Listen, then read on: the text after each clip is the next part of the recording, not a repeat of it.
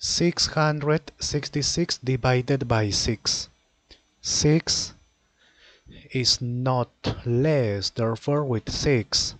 6 multiplied by which number is nearest to 6 but not greater.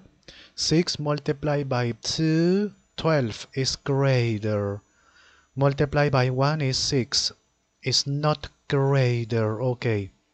Subtract 6 minus 6, 0. Next, eliminate 0 here. Okay, 6. 6 multiplied by 1, 6. Subtract. Next, 6. 6 multiplied by 1, 6. Subtract. Next, there is not number, therefore finish it.